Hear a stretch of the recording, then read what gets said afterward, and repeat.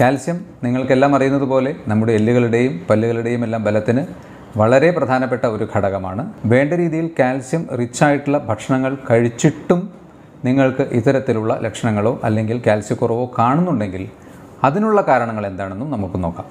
കുട്ടികളെല്ലാം കൂടുതൽ ഓടി വന്നു അല്ലെങ്കിൽ കളിച്ചൊക്കെ വരുമ്പോൾ പലപ്പോഴും അവർ കാലുവേദന അല്ലെങ്കിൽ വയറുവേദന എന്നൊക്കെ പറയാറുണ്ടാകാം. ഇതൊക്കെ പലപ്പോഴും കാൽസ്യം ഡെഫിഷ്യൻസി കൊണ്ടാവാൻ സാധ്യതയുണ്ട്.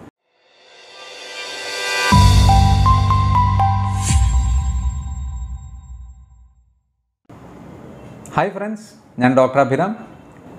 നമ്മുടെ പ്രകൃതിയിലെയും അതുപോലെ മനുഷ്യ ശരീരത്തിലെയുമെല്ലാം പ്രധാനപ്പെട്ട ഒരു എലമെന്റാണ് കാൽസ്യം എന്നുള്ളത്. കാൽസ്യം നിങ്ങൾക്കെല്ലാം അറിയുന്നത് പോലെ നമ്മുടെ എല്ലുകളുടെയും പല്ലുകളുടെയും എല്ലാം ബലത്തിന് വളരെ പ്രധാനപ്പെട്ട ഒരു ഘടകമാണ്. എന്നാൽ ഇത് കൂടാതെയും കാൽസ്യത്തിന് മറ്റു പല ഫങ്ഷൻസും ഉണ്ട്. അപ്പോൾ നമുക്ക് ഈ കാൽസ്യം നമ്മുടെ ശരീരത്തിൽ കാര്യമായി കുറയുകയാണെങ്കിൽ നമുക്ക് അനുഭവപ്പെടാവുന്ന ലക്ഷണങ്ങൾ എന്തൊക്കെയാണ് എന്ന് നോക്കാം. അതുപോലെ തന്നെ നിങ്ങൾ വേണ്ട രീതിയിൽ കാൽസ്യം റിച്ച് ആയിട്ടുള്ള ഭക്ഷണങ്ങൾ കഴിച്ചിട്ടും നിങ്ങൾക്ക് ഇത്തരത്തിലുള്ള ലക്ഷണങ്ങളോ അല്ലെങ്കിൽ കാൽസ്യക്കുറവോ കാണുന്നുണ്ടെങ്കിൽ അതിനുള്ള കാരണങ്ങൾ എന്താണെന്നും നമുക്ക് നോക്കാം. കാൽസ്യം കുറഞ്ഞാൽ ഏറ്റവും പ്രധാനമായി കാണാവുന്ന ഒരു ലക്ഷണം ജോയിന്റ് റിലേറ്റഡ് ആയിട്ടുള്ള പ്രശ്നങ്ങൾ തന്നെയാണ്. അതായത് ജോയിന്റ് പെയിൻ മസിൽ പെയിൻ തരിപ്പ് കടച്ചിൽ. പ്രത്യേകിച്ച് നമ്മുടെ തുട അല്ലെങ്കിൽ മുട്ടിനു താഴെയുള്ള ഭാഗം. കുട്ടികളെല്ലാം കൂടുതൽ ഓടി വന്നു അല്ലെങ്കിൽ കളിച്ചൊക്കെ വരുമ്പോൾ പലപ്പോഴും അവർ കാലുവേദന അല്ലെങ്കിൽ വയറുവേദന എന്നൊക്കെ പറയാറുണ്ടാകാം. ഇതൊക്കെ പലപ്പോഴും കാൽസ്യം ഡെഫിഷ്യൻസി കൊണ്ടാവാൻ സാധ്യതയുണ്ട്. പ്രത്യേകിച്ച് തണുപ്പ് കാലങ്ങളിലൊക്കെ ഇത് കൂടുതലായി കാണുന്നു. മസിൽ കോച്ചി പിടിക്കുക. ഇത്തരത്തിൽ ജോയിന്റും മസിൽസുമായി റിലേറ്റഡ് ആയിട്ടുള്ള പ്രശ്നങ്ങൾ കാൽസ്യത്തിൽ വളരെ സാധാരണമാണ്. ചിലപ്പോൾ നമ്മുടെ വായുടെ ചുറ്റും തരിപ്പ് വരുന്നത് അല്ലെങ്കിൽ കൈകളുടെ വിരലുകളുടെ തുമ്പിൽ തരിപ്പ് വരിക അല്ലെങ്കിൽ ടിംഗ്ലിംഗ് എന്ന് പറയാം. ഒരു തരിപ്പിനും ഒരു വേദനയിലും ഇടയിലുള്ള ഒരു ലക്ഷണം. ഇതൊക്കെ കാൽസ്യ കുറവുണ്ടാവാൻ സാധ്യതയുണ്ട്. ഇനി നമ്മുടെ ഹെയർ അതുപോലെ നെയിൽ ഇതിലൊക്കെ കാൽസ്യ കുറവ് കൊണ്ട് പ്രകടമായ മാറ്റങ്ങൾ കാണുന്നു.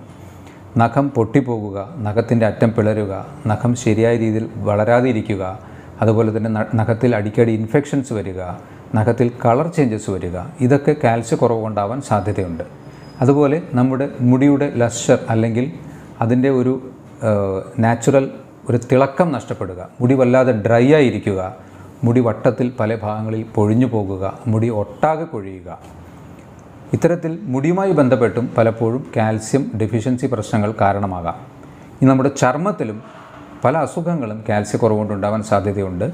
ചർമ്മം വളരെ വരണ്ടിരിക്കും. കാൽസ്യം കുറയുമ്പോൾ മുടിയായാലും ചർമ്മവുമൊക്കെ വല്ലാതെ ഡ്രൈ ആകുന്ന ഒരവസ്ഥ കാണാറുണ്ട്. അതുപോലെ ചിലപ്പോൾ ചില അസുഖങ്ങളായ എക്സിമ അല്ലെങ്കിൽ സോറിയാസിസ് പോലെയുള്ള അസുഖങ്ങളൊക്കെ ഡെവലപ്പ് ചെയ്യുന്നതിന് വരെ ചിലപ്പോൾ കാൽസ്യം നല്ലതുപോലെ കുറഞ്ഞാൽ കാരണമായേക്കാം. ഇനി നമ്മുടെ ജനറൽ ഹെൽത്തിലും മനസ്സുമായി ബന്ധപ്പെട്ടും പല പ്രശ്നങ്ങളും കാൽസ്യം റിലേറ്റഡ് ആയിട്ട് ഉണ്ടാകാറുണ്ട്. കാൽസ്യം കുറവ് കൊണ്ട് പ്രത്യേകിച്ച് എക്സ്ട്രീം ഫറ്റീഗ് അല്ലെങ്കിൽ അമിതമായ ക്ഷീണം ഓർമ്മക്കുറവ് ഉറക്കക്കുറവ് അതുപോലെ തൂങ്ങിപ്പിടിച്ചിരിക്കുന്ന ഒരവസ്ഥ ഉത്സാഹമില്ലായ്മ തലയ്ക്ക് ഒരു ഭാരക്കുറവ് പോലെ തോന്നുക അതുപോലെ കൺഫ്യൂഷൻ ഡിപ്രഷൻ ഇത്തരത്തിൽ നമ്മൾ പലപ്പോഴും ആലോചിക്കാത്ത കാൽസ്യവുമായി ബന്ധപ്പെട്ട എല്ലാവരും എല്ലുകളുടെയും പല്ലുകളുടെയും പ്രശ്നങ്ങളാണ് കൂടുതൽ ആലോചിക്കാറ്.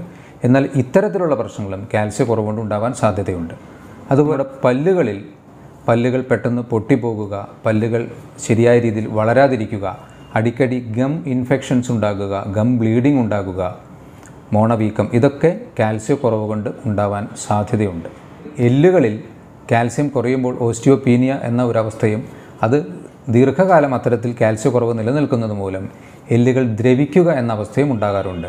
ഇവിടെയും വീണ്ടും ജോയിന്റ് പെയിൻസും അതുപോലെ പെട്ടെന്ന് വീഴുമ്പോൾ വളരെ ചെറിയ തട്ടലിലോ അല്ലെങ്കിൽ മുട്ടലിലോ ഒക്കെ തന്നെ ഫ്രാക്ചർ സംഭവിക്കുക. ഇതെല്ലാം നമ്മുടെ എല്ലുകളിൽ കാൽസ്യം നല്ലതുപോലെ കുറയുന്നു എന്നാണ് കാണിക്കുന്നത്. ശരീരത്തിലെ കാൽസ്യത്തിന്റെ ഏകദേശം തൊണ്ണൂറ്റൊൻപത് ശതമാനത്തോളം സ്റ്റോർ ചെയ്യപ്പെട്ടിരിക്കുന്നത് എല്ലുകളിലാണ്. രക്തത്തിൽ ഈ കാൽസ്യത്തിന്റെ അളവ് കുറയുമ്പോൾ ശരീരം എല്ലുകളിൽ നിന്ന് ഡീമിനറലൈസ് ചെയ്ത് ഉപയോഗിക്കുകയാണ് ചെയ്യുന്നത്. സ്ത്രീകളിൽ മെൻസസ് റിലേറ്റഡ് ആയിട്ടുള്ള പ്രശ്നങ്ങൾ പലപ്പോഴും കാൽസ്യ കുറവുകൊണ്ട് ഉണ്ടാകാറുണ്ട്. പ്രത്യേകിച്ച് പ്രീ മെൻസ്ട്രൽ സിൻഡ്രോം അത് വളരെ കൂടുതലായി കാണുന്നത് അധികമായി കാൽസ്യ കുറവുള്ളവരിലാണ്. സ്ത്രീകളിൽ മെൻസസിന് മുന്നേ പീരിയഡ്സിന് മുന്നേ അമിതമായ ഉത്കണ്ഠ ദേഷ്യം ക്ഷീണം ഉറക്കം അമിതമായ വയറുവേദന ഇതൊക്കെ കാൽസ്യം ഡെഫിഷ്യൻസി കൊണ്ട് വരാനുള്ള സാധ്യതയുണ്ട്. പിന്നെ മെനോപോസ് സമയത്ത് പ്രത്യേകിച്ച് ഹോർമോൺ ചേഞ്ചും കൂടി ആകുമ്പോൾ കാൽസ്യം റിലേറ്റഡ് ആയിട്ട് സ്ത്രീകളിൽ വളരെ കോമൺ ആയിട്ട് ഓസ്റ്റിയോപോറോസിസ് അഥവാ എല്ലുകൾ ദ്രവിക്കുന്ന അവസ്ഥയും കാണാറുണ്ട്.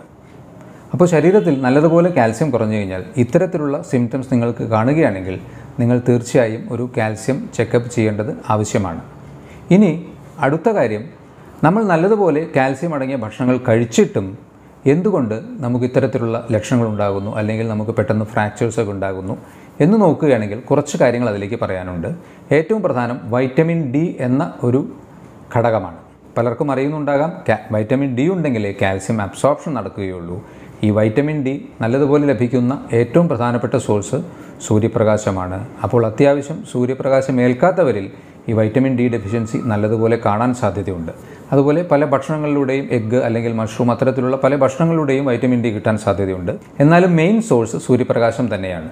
അപ്പോൾ കാൽസ്യ കുറവിന്റെ ലക്ഷണങ്ങൾ ഉണ്ടെങ്കിൽ ഒരു കാരണം വൈറ്റമിൻ ഡിയുടെ കുറവായിരിക്കാം.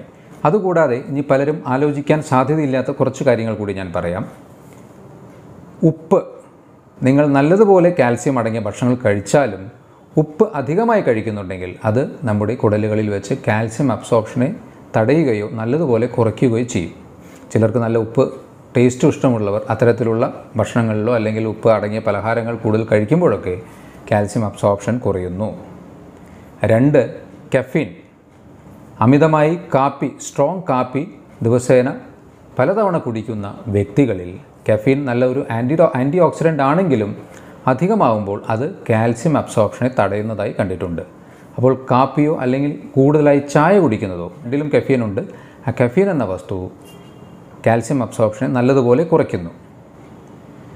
ഇനി കാർബണേറ്റഡ് ഡ്രിങ്ക്സ് അതായത് കൊക്കക്കോള പെപ്സി അല്ലെങ്കിൽ സോഡ പോലെയുള്ള പാനീയങ്ങൾ കൂടുതലായി കഴിക്കുന്നവരിലും കാൽസ്യം അബ്സോർപ്ഷൻ കുറയുന്നതായി കണ്ടിട്ടുണ്ട്.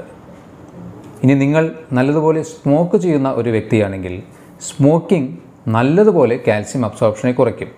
അപ്പോൾ നിങ്ങൾ നല്ലതുപോലെ ഭക്ഷണങ്ങൾ കഴിച്ചാലും ഇക്കാര്യങ്ങൾ കൂടി അത് വൈറ്റമിൻ ഡി സ്മോക്കിംഗ് കഫീൻ ഉപ്പ് ഈ നാല് കാര്യങ്ങൾ കൂടി നിങ്ങൾ നല്ലതുപോലെ ശ്രദ്ധിച്ചിട്ടില്ലെങ്കിൽ നിങ്ങൾ കഴിച്ച ഭക്ഷണത്തിൽ നിന്ന് കാൽസ്യം നിങ്ങൾക്ക് കിട്ടുകയില്ല. പലരും ഒരുപക്ഷെ നല്ല ആരോഗ്യത്തിന് നല്ലതായിക്കോട്ടെ എന്ന് വിചാരിച്ച് ഒരു ഗ്ലാസ് പാലിൽ തന്നെ കാപ്പി ഉണ്ടാക്കി കഴി കുടിക്കുന്നുണ്ടാവാം.